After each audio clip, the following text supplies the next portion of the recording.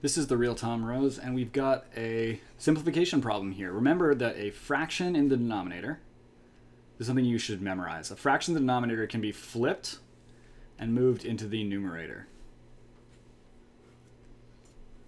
So first let's do, let's simplify the numerator a little bit, then I'll show you. Actually, so we'll do that step now. So if we have 1 half plus 1 third, this is going to be, now we're moving that into the numerator, 6 over 1. So we flipped it. Now let's find a common denominator for these, which is uh, the lowest common denominator will be uh, 6. So we'll multiply by 3 over 3. Let's show this in a different color. Multiply by 3 over 3 and 2 over 2.